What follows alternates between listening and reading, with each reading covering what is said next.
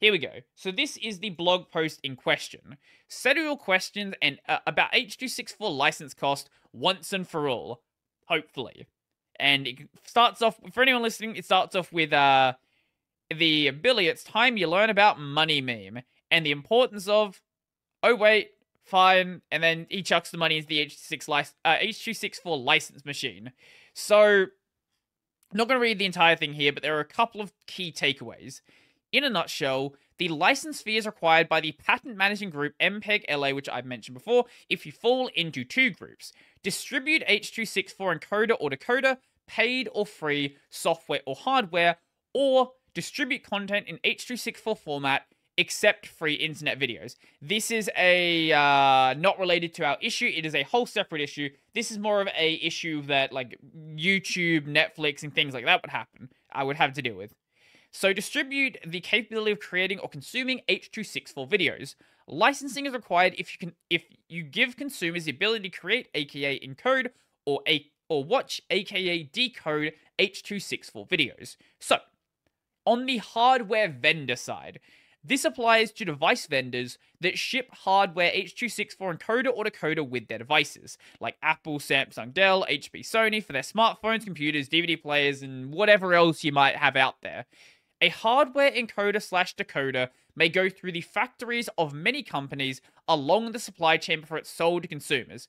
Only the company that puts the brand on the product has to pay the license fee, e.g., Samsung for a smartphone with hardware H264 encoder instead of Qualcomm who actually builds the chips.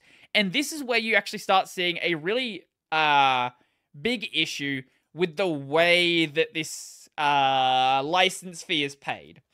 So, as for the software vendors, this group also includes software vendors whose products contain H.264 encoder or decoder, like Microsoft's Windows OS, Adobe's Flash. But I don't know when was this written.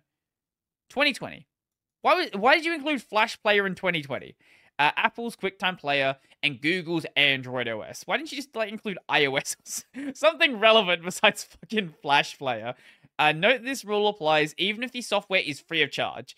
Uh, but if it's open source and you distribute the source code instead of the compiled binary, you don't have to pay the license fee. So yeah, if you're just distributing, like Gentoo, for example, Gentoo would distribute a um, source version of FFmpeg, and the license fee is not applicable there.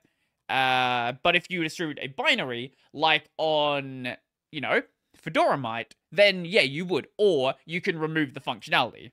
Uh, this is why people adapt this is why people host downloadable pre-built binaries of open source software like FFmpeg in countries outside of the US where the same patent laws don't apply. Right. So here's where we start seeing the issue. There's an example right down the bottom here. Finally, let's I think that was, that was all. Uh yeah, no, it's mainly just like about pricing in here. Um finally, let's have a quiz. Consider the following scenario. Ada recorded the video on her iPhone and used a mobile app called WeStudio to edit and publish it to the video platform iTube. WeStudio invoked Video Toolbox provided by the uh, uh, by iOS to decode H.264 video, compressed it with WeStudio's own encoder, and uploaded the video to the iTube server. iTube employed a public cloud transcoding service from vCompress to further reduce the size of the video. When uh, when another user Bob watched the video in iTube app in the iTube app, why is there a word missing there? On his Android device, iTube decoded the video using an open source software decoder created by Open Codec. Codec? Codec. So among the, the companies that appeared in the story, Apple with their iPhone and iOS, WeStudio with the video editor, iTube with the video platform, vCompress the cloud transcoding platform, Google with Android, and OpenCodec, the open source decoder, which ones do not need to pay the H.264 license fee? And the answer to this is OpenCodec. So everybody else in the chain needs to pay it. This is where, like, this is a big reason why it's a mess. So Apple needs to pay it for the iPhone and for the iPhone hardware and the iPhone software. Then the developers of this like application need to pay it as well, then the app the, like everyone else needs to pay, with the exception of Open Codec. So the reason why they don't have to pay from the way that I understand this is that that is um wait wait where was the example again? Is that because it's being used by by iTube. So this this isn't the application being used directly. It's being bundled as part of iTube, right? So iTube is the user-facing brand, and that brand is the one that needs to pay for the license. That's the way that I understand it.